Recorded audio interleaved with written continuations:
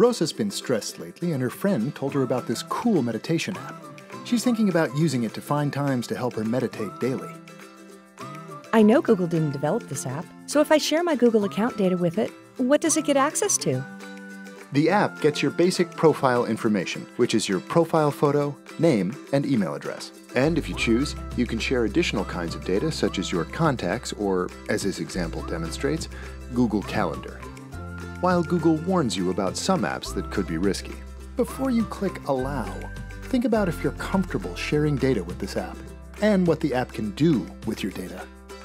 If you allow an app to view your data, the app may keep its own copy of the data you've shared. And also, be careful if an app is asking to write or manage your data, because then the app can act independently. It can change your Google data, like rescheduling or deleting events on your Google Calendar. I'm comfortable sharing data with this app. It's only asking to view my calendar data, not write or manage it, which makes sense because all I want it to do is suggest meditation breaks around my schedule. I'll allow it.